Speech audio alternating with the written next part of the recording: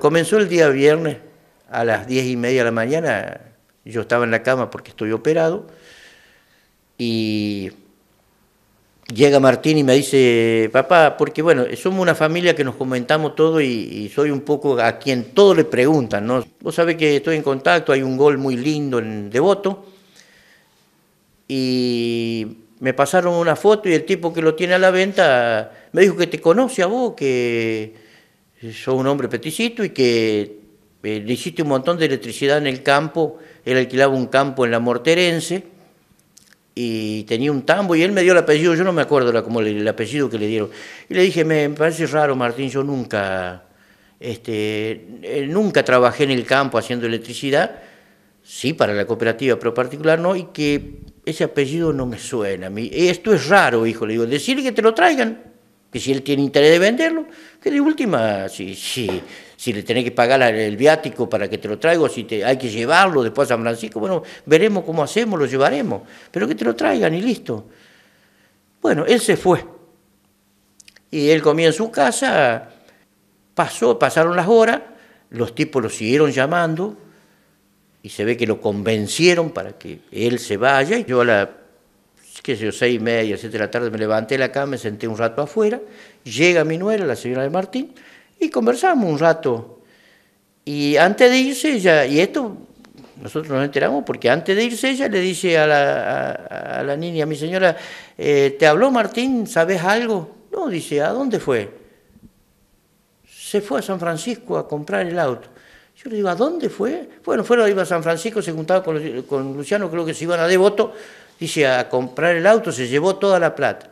Y yo ahí no me agarré el teléfono, le digo, ya lo llamo a Luciano. Lo llamo a Luciano y le digo, me atiende enseguida. ¿Dónde están, hijo, ustedes?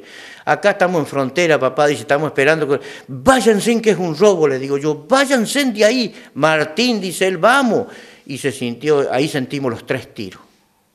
Tres tiros seguidos y empezaron, hijo de pubas, todos los insultos y entregame la plata, que los mato a los dos, que esto, que aquello. Y nosotros escuchábamos todo, porque estaba el teléfono, se ve que Luciano echó el teléfono al bolsillo y escuchábamos todo.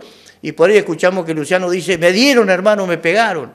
Y, Martín le dice, a mí también. Bueno, dispará, dispará, tirá la plata arriba del techo, le dice, porque había una casa ahí a, a unos 30 metros donde estaban ellos.